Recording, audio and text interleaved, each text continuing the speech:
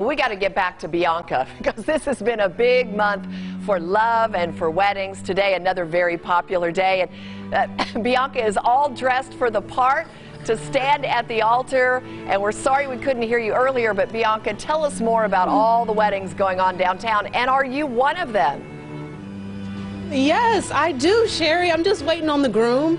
Uh, I mean, he should be here soon, right? Fingers crossed. But this is a huge day for so many people. Our city has already reached the 5 millionth wedding this past weekend. And here I'm joined by Rachel Sneed of Lucky Little Wedding Chapel in downtown. So tell me, on a normal Tuesday, you do about 30 max uh, weddings. But on this Tuesday, how many do you have? We're going to do over 100, I'm sure. And you're one of the few chapels that still have the wedding dresses, right? Yes, absolutely. So it's wonderful because we can have couples come in um, right off the street. They just got their license. They're excited. They want to do this. They walk in, they see the gowns and tuxedos, and we can fit them and get them hair and makeup ready and get them married and on to celebrating. Yeah, and this was a big day. A lot of people uh, booked this in advance. So tell me, what was some of the prep that you all did to prepare for this big day?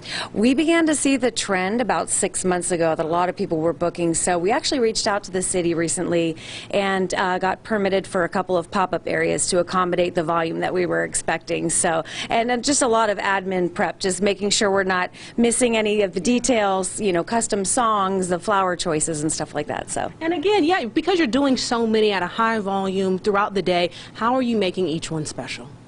Uh, we're just taking our time, you know, with each one, and we have a lot of staff, so the couple's going to not feel rushed yeah. because they're, you know, while one photographer's with one couple, they have another one joining the next couple. So, yeah. All right, so we're looking forward to it. They got more weddings starting up at 8 a.m. They started at midnight tonight. They took a break just for us, and so they're going to go all the way until midnight tonight of people getting married on this lucky day. And um, yeah, I'm one of them. I'm, I'm going to own it in my mind. Okay, back to you guys in the studio.